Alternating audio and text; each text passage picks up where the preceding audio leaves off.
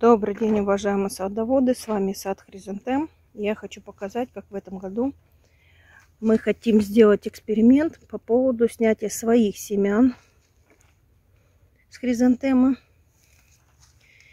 Посеять, попробовать, что из этого получится. Я видела, как другие садоводы высеивали свои семена, какие хризантемы вырастали интересные, совершенно необычные. Поэтому мы оставили несколько ведер с цветущими хризантемами, не обрезая, чтобы дозрели семена. Главное здесь не поливать. Как видите, вот они созревшие. Не поливать, чтобы не было сырости. Должно стоять в сухом помещении. Желательно не трясти лишний раз их. Сложности сбора нету никакого. Я срываю прямо так вот головку.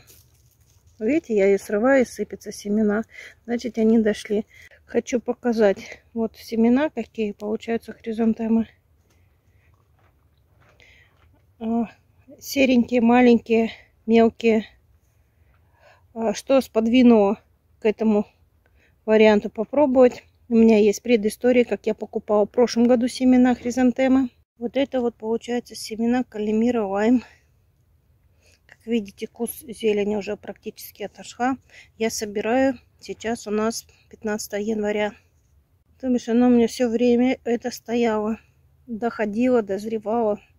Не знаю, где-то я вычитала, что они должны, обязательно их нужно. Я даже вот так вот, наверное, сниму.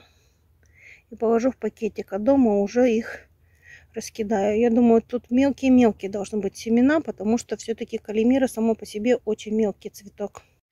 Ну вот смотрите, я калимира все-таки одно разобрала. Тут даже не поймешь, где тут семена. По факту посева и отсеивания семян я вам покажу.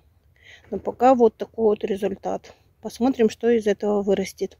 А, нюансик такой, что а, постарайтесь кустовые хризантемы собирать отдельно.